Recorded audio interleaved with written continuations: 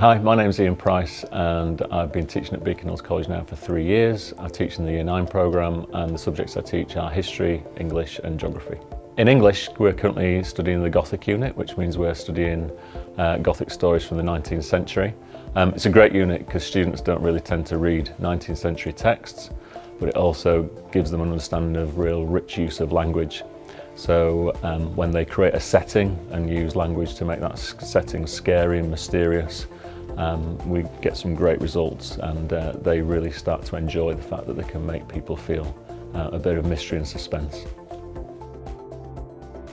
What's always inspired me as a teacher is the fact that every day is different. It sounds a cliche, but it, it's absolutely true. And um, how students react to, to lessons um, can really inform how you might deliver something different the next, the next day or the next week.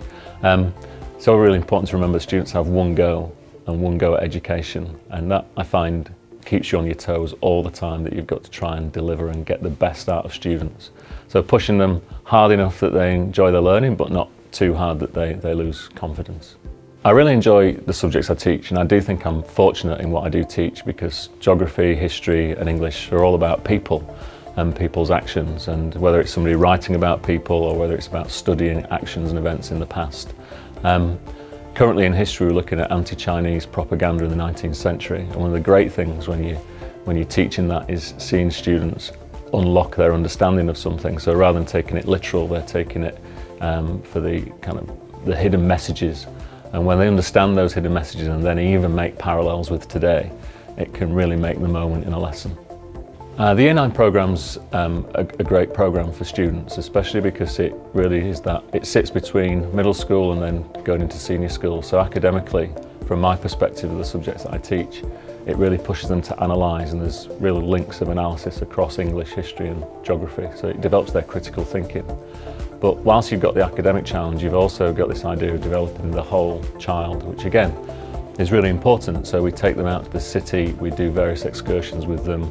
At the moment we're looking at common good, so it gets them to empathise with other people who perhaps have different backgrounds and, and are less fortunate in certain areas of their life and gets them to understand and um, I suppose consider other people and how they would live.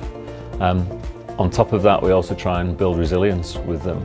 So the trip to the Great Southwest that we went on in May uh, certainly built my resilience as a teacher, but um, also developed theirs where we were out for eight days, um, camping, biking, um, walking, and it really brings a kind of camaraderie with the students as well. Uh, working at Beaconhills College in the Year 9 programme um, as a staff member has been great. I, I really enjoy the, the close community I've got with the Year 9 teachers I work with. Um, working in a small team of teachers to create lessons and um, trying those and taking a few risks as a professional is, is a really great um, collegiate atmosphere to work in.